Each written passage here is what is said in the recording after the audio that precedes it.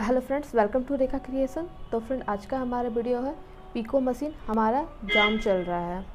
तो friend video शुरू करने से पहले अगर आप हमारे चैनल में फ़र्स्ट टाइम विज़िट करते हैं तो हमें सब्सक्राइब कीजिए वीडियो के नीचे एक नोटिफिकेशन बेल है, उसे क्लिक कीजिएगा ताकि मैं मशीन से और स्टिचिंग से जुड़ी हुई वीडियो जब भी अपलोड करूँ तो उसका नोटिफिकेशन आपको सबसे पहले पहुँचे।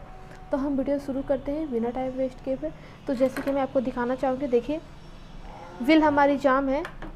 ठीक है देखिए इस तरह से आप देख रहे हैं। तो ये जाम क्यों होती है? पिको मशीन या कोई भी मशीन, जाम क्यों होती है? तो आज का हमारा यही टॉपिक है। शुरू से लास्ट तक बने रहिएगा तो वीडियो आपको पूरा अच्छे से समझ में आएगी। अगर हमारी व्हील इस तरह से जाम है, ठीक है? तो हमें क्या करना है? हमें ज़्यादा ज़ोर लगा के व्हील को इस तरह से पुश नहीं करना है। अगर पुश करेंगे तो क्या होगा, मशीन की हमारी कोई भी पार्ट जो ठीक है, वो ख़राब ना हो जाए, ठीक है? इसलिए इसे हम ज़्यादा ज़ोर नहीं लगाएँगे। सबसे पहले हमें क्या करेंगे कि हम जो रबड़ है या बेल्ट है, हमारी मशीन में तो वैसे मैंने मोटर लगा के रखा है तो हम मोटर के बेल्ट को निकाल लेंगे। कोई भी मशीन हो आपकी, कोई भी मशीन हो, अगर इस तरह से जाम है तो जैसे मैं बता रही हूँ, आप ठीक उसी तरह से करना, ठीक है? पहले आप कोशिश कर लेना, नहीं ठीक होगी तो मैकेनिक के पास हमें जाना ही है। लास्ट ऑप्शन हमारा यही बचता है, ठीक है फ्रेंड वीडियो देखकर अगर आपकी प्रॉब्लम नहीं सॉल्व हो रही है तो लास्ट ऑप्शन आपका क्या है? मैकेनिक के पास जाना, ठीक है? आप मुझे कमेंट बॉक्स में कमेंट भी करके मुझसे पूछ सकते हैं अपनी प्रॉब्लम को। मैं कोशिश ये करती हूँ कि मैं आपकी सारी प्रॉब्लम को सॉल्व कर पाऊँ ज़्यादा से ज़्यादा, ठीक है? मेरा यही कोशिश रहता है। तो सबसे पहले मैं रबड़ को निकाल लेती हूँ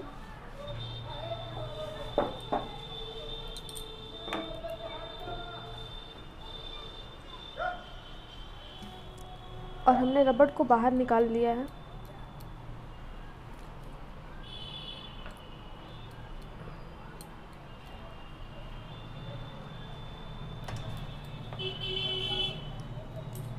अब हम क्या करेंगे? मशीन को ऊपर ले लेंगे।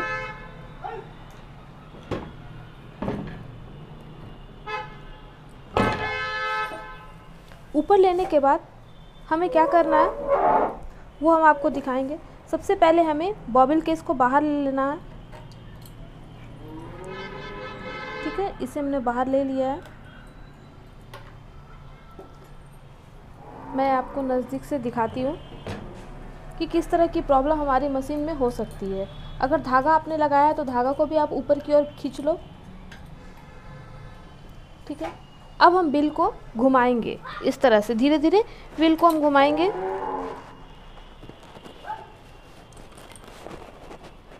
देखो व्हील अभी भी हमारा टाइट है। तो क्या प्रॉब्लम हो सकती है? हम देखेंगे कि हमारी मशीन में जो सटल है, इस जगह धागा तो नहीं फंसा है। मैं आपको दिखाना चाहूँगी। देखिए, ये धागा फंसी है। आप देख रहे होंगे। मैं आपको जूम करके दिखाती हूँ।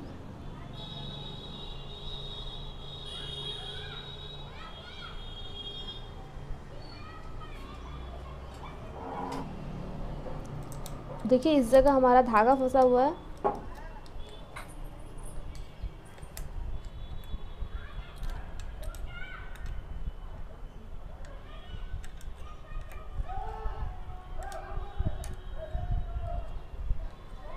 देखिए, आप देख रहे हैं, धागा हमारा फंसा हुआ है। तो इस धागा को हम बाहर निकाल लेंगे।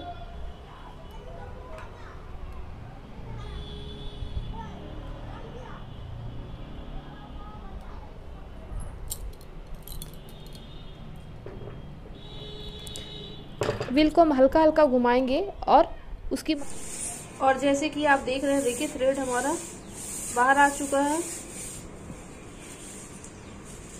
जब तक ये धागा फंसा था तब तक हमारा शटल मूव अच्छे से नहीं कर रहा था। अब देखिए ये आसानी से मूव कर रहा है।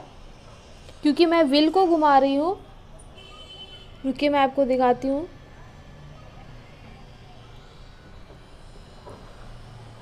देखिए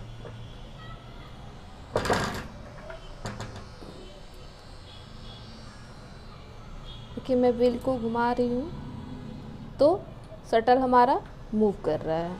हमने कुछ नहीं किया है। हमने सिर्फ़ शटल से धागा को निकाला है। तो हमारी मशीन फ्री हो चुकी है। मैं आपको सेट करके और मशीन को घुमा के दिखाती हूँ। तो मैं आपको व्हील घुमा के दिखाती हूँ। देखिए। एकदम ये फ्री हो चुकी है। आप देख रहे हैं? तो फ्रेंड मैं उम्मीद करूँगी कि ये वीडियो आपको पसंद आई हो। पसंद आई है तो ज़रूरतमंद को ज़रूर शेयर कीजिएगा।